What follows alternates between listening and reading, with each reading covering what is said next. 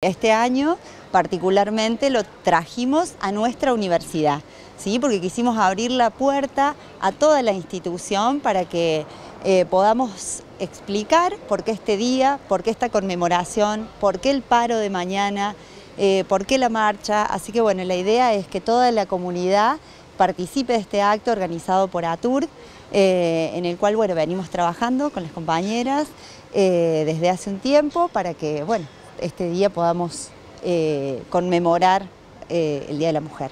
¿Y cuál es la propuesta, cuál es la actividad que se va a realizar para visibilizar justamente esta temática? Bien, bueno, para esta ocasión invitamos al grupo de teatro Mascaviento eh, con una interpretación artística, una actriz que nos trae un poco de historia ¿sí? de lo que sucedió, para por qué se conmemora este día justamente. Así que bueno, el grupo Mascaviento va a estar participando, desde ATUR preparamos un documento eh, para explicar también a las compañeras, a los compañeros, porque también hemos invitado a los compañeros no docentes, eh, eh, en este documento explicamos por qué paramos mañana, por qué se conmemora este día y bueno, y finalmente vamos a tener la actuación de un grupo de bailarines de danzas latinoamericanas de Abriendo Surcos, que nos traen también una interpretación cultural, artística, referido a la mujer.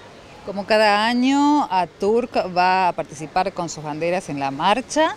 Sí, sí, sí, va, sí, participamos de la marcha el día de mañana, viernes 8 eh, a las 18 horas es la concentración en la Plaza Roca, ¿sí?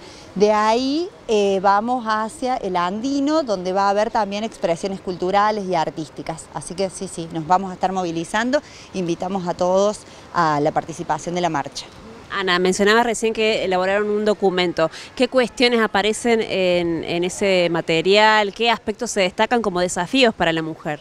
Bueno, eh, en estos tiempos difíciles que estamos transitando, eh, lo que queremos resaltar justamente es eh, mantener en pie de lucha los derechos conseguidos, ¿sí? todo el camino que, que venimos transitando, que vienen dejándonos muchas compañeras y que no queremos perder esos derechos.